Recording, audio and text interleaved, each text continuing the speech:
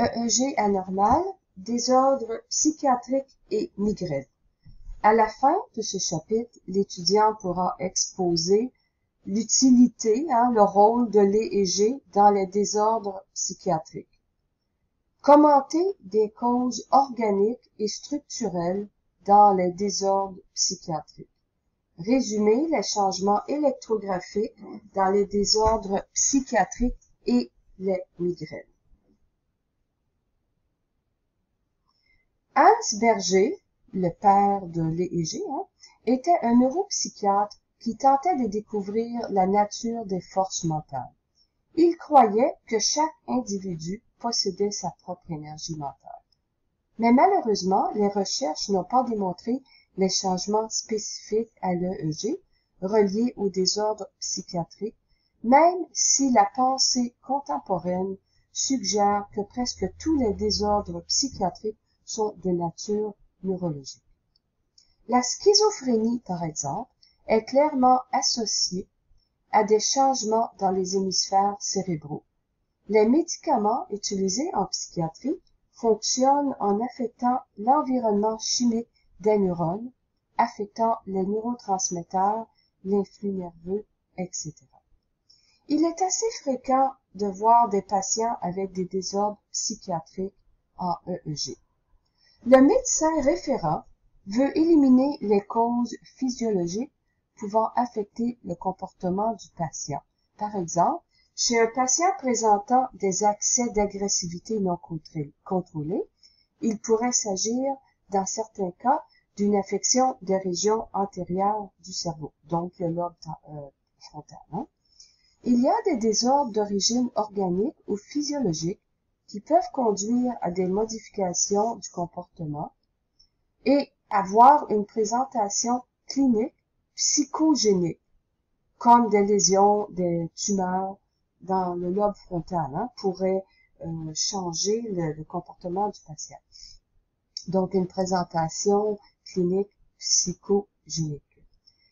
L'EEG est aussi utile dans l'évaluation de l'effet de la médication utilisée en psychiatrie. Un malade peut souffrir, de problèmes d'ordre psychogénique suite à un changement de médicament, par exemple, ou à une trop grande quantité de médicaments. On peut aussi contrôler l'action des médicaments durant le stade thérapeutique. Par exemple, si le patient semble présenter un état plus ou moins confusionnel à la suite d'un changement de médicament, l'EEG peut renseigner sur les effets de ce médicament sur l'état de conscience du patient et ainsi aider le médecin à doser euh, le médicament. Hein. Donc, euh, des fois, un retrait de médicament, ça va changer le, comportement. Un changement de médicament, toutes les, ça va changer la, la, composition chimique, hein, ça va affecter les neurotransmetteurs.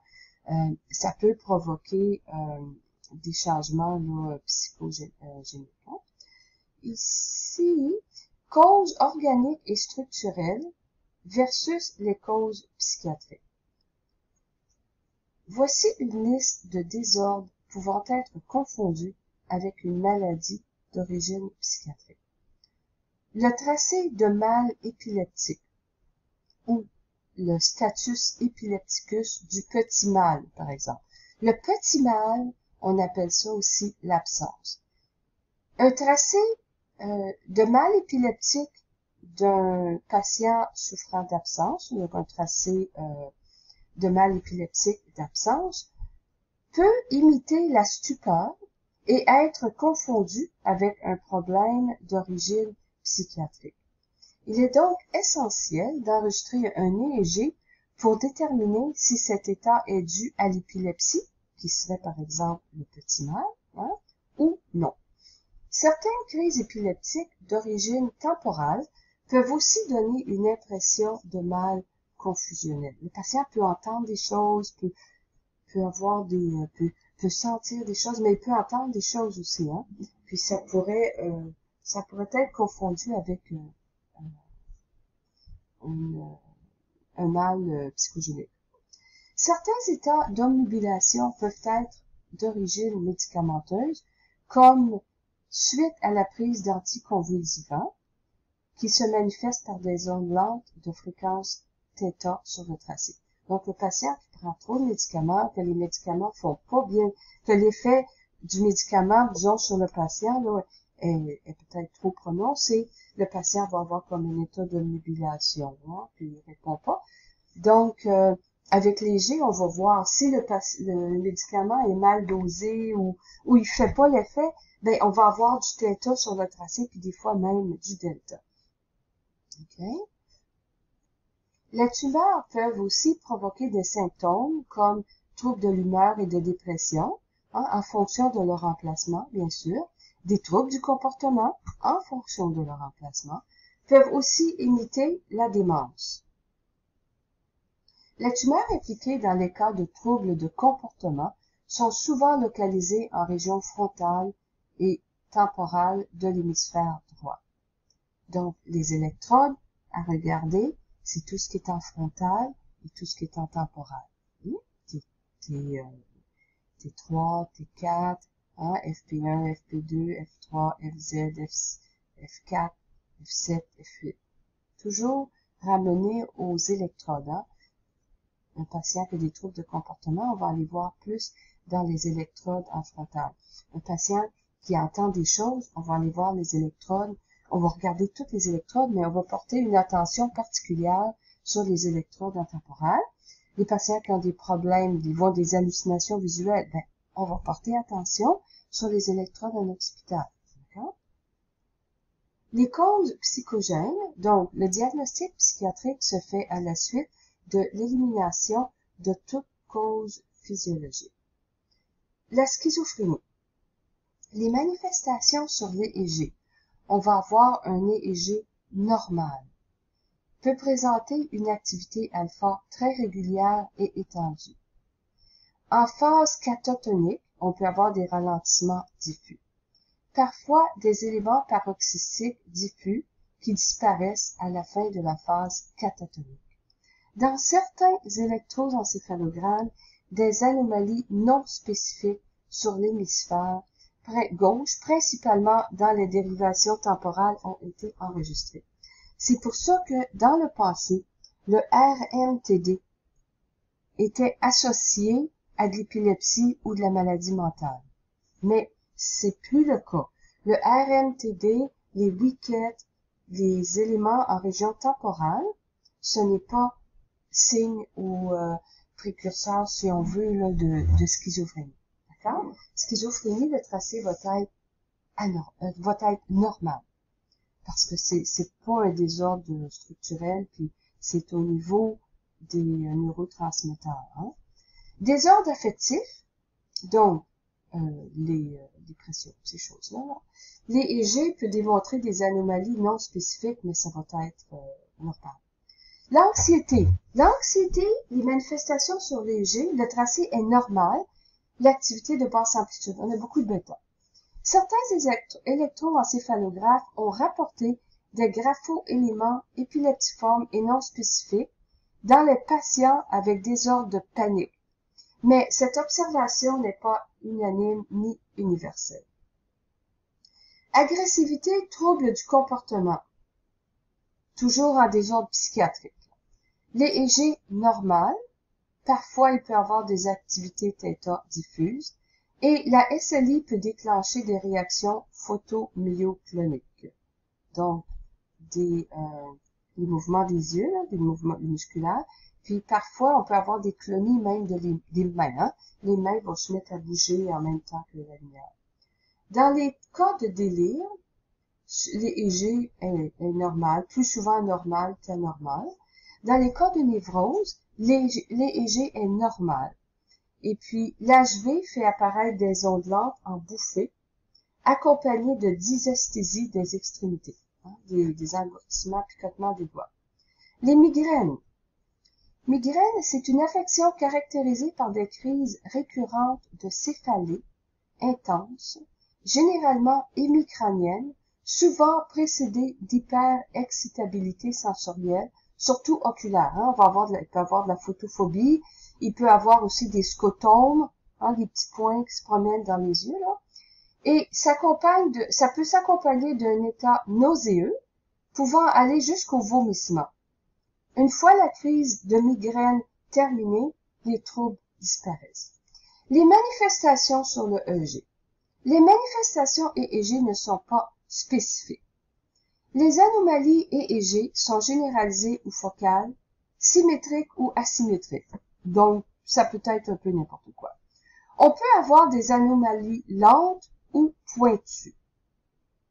Activités, les activités en général, bien réactives aux stimulations et ça va être augmenté par l'HV. Donc, c'est pas spécifique. On peut pas dire c'est des pointes, c'est pas spécifique, ça peut être euh, focal, généralisé, donc euh, un peu n'importe où. Puis on peut avoir des, des anomalies lentes et pointues. Des anomalies lentes, donc des ondes un petit peu lentes, des anomalies pointues, des activités qui semblent un petit peu plus pointues. Durant une attaque de migraine, on peut voir sur le tracé. Donc, on peut. Ça ne veut pas nécessairement dire qu'on en voit tout le temps. On peut voir sur le tracé des bouffées paroxysmales d'ondes pointues lentes de haut voltage qui ont une conformation ou une apparence épileptiforme. Quand on parle de de bouffées paroxysmales, paroxysmal, c'est un terme utilisé en EEG. Il faut savoir de quoi qu'on parle. Quand on parle de paroxysmal, on parle d'activité qui va apparaître de façon brutale, disparaître de façon brutale, et dès son apparition, l'activité est à son amplitude maximale. Ça, c'est la définition de paroxysme. OK? Départ et fin brutale avec euh, sa manifestation avec une son amplitude maximale dès le début de l'apparition. Des ondes lentes, on peut trouver aussi dans une migraine des ondes lentes focalisées sur le côté douloureux de la tête, par exemple dans les cas de migraine hémicranienne. Donc, si la personne a mal en région occipitale ou pariétale gauche, ben, on peut trouver peut-être des ondes lentes focalisées à cet endroit-là. On peut aussi avoir un tracé d'apparence un petit peu pointu. Hein? L'alpha va être un peu plus pointu. Il va avoir, euh, ça va être un petit peu, comme on dit en, jargon et égé, irritatif, hein? un petit peu plus pointu. Les réponses marquées par des rythmes de fond postérieur lors de la SLI, à toutes les fréquences, surtout en intercritique. Donc, la SLI va, va euh, peut exacerber un petit peu hein, le, le, mal de tête, surtout si le patient a de la, euh, de la des photophobiques, de la difficulté avec la lumière. La réponse euh, à la SLI, cette réponse serait due à l'hypoactivation des régions postérieures qui, étant inhibées, facilite la synchronisation au niveau du cortex. Cette réactivité est marquée, se voit aussi lors de sevrage chez l'alcoolique et les drogués, ceux qui prennent de la drogue, là. OK? Aussi lors d'encéphalopathie métabolique. Donc, la réaction à la SLI, une réaction, euh, disons, plus marquée, hein, se retrouve en état de sevrage de l'alcoolique, du drogué, et puis aussi dans certaines encéphalopathies métaboliques. Donc, c'est comme si le, cortex occipital devient euh, plus sensible. Hein? Ensuite, on a les migraines euh, dysrythmiques. Les migraines euh, dysrythmiques, euh, donc nom donné par euh, Dr. Vail là, en 1952. C'est pas important, mais j'avais trouvé ça. Les manifestations sont des décharges pointues focalisées ou généralisées, un peu comme dans l'autre migraine. Ça peut être un tracé aussi normal. Les migraines basilaires, donc euh, à la base du crâne, là, bouffées d'ondes de grande amplitude euh, en prédominance postérieure. Les migraines hémiplégiques, on peut avoir des ondes delta sur l'hémisphère controlatéral en même temps que l'hémiplégie. Donc, j'ai une hémiplégie à droite, je vais avoir des ondes à gauche. L'hémisphère contralatéral ça va disparaître après quelques jours. Ensuite, on a quelque chose qui s'appelle SMART. S-M-A-R-T. stroke-like migraine attack after radiation therapy. OK? Donc, c'est un type de migraine après avoir euh, une thérapie de radiation. Syndrome caractérisé par des épisodes transitoires et récurrentes de maux de tête d'allure migraineux et déficits focaux qui peuvent durer jusqu'à quelques jours. L'IRM met en évidence une prise de contraste cortical intense et unilatérale, contralatérale au côté symptomatique. Tout ça pour vous dire, donc, vous avez des épisodes transitoires et, de migraine euh, avec des déficits focaux. ok? Et puis l'IRM peut montrer, par exemple, quelque chose euh, au niveau, avec les, produits contrastants, quelque chose au niveau euh, du cortex et unilatéral, contralatéral au côté symptomatique. Donc, si j'ai mal à la tête du côté gauche, je peux avoir, ça va être unilatéral, contralatéral, donc ça va être du côté droit. OK? C'est pas plus important que ça, là. C'est juste un titre de savoir, là. Manifestation sur léger des ralentissements diffus euh, latéralisé, contralatéral. Il y a des exercices d'apprentissage à la fin du chapitre. Fait que, en résumé, pour ce chapitre-là, c'est pour euh, les, euh, les troubles psychiatriques les migraines, là. Euh, va servir, pour les troubles psychiatriques, va servir à déterminer si c'est un trouble psychiatrique, un vrai trouble psychiatrique, ou si une cause physiologique. Hein? une tumeur quelque chose. Et puis, on parle un peu des migraines aussi. Euh, les, EG sont souvent normaux. faut faire attention avec la SLI. Et puis, ça peut déclencher, euh, durant les migraines, le patient peut avoir aussi des, euh, des éléments paroxysmaux euh, pointus, là. Euh, donc, qui vont disparaître là, après la migraine. Okay? Donc, toujours lire les EG de façon technique en fonction des informations qui sont fournies et puis ne pas poser de diagnostic.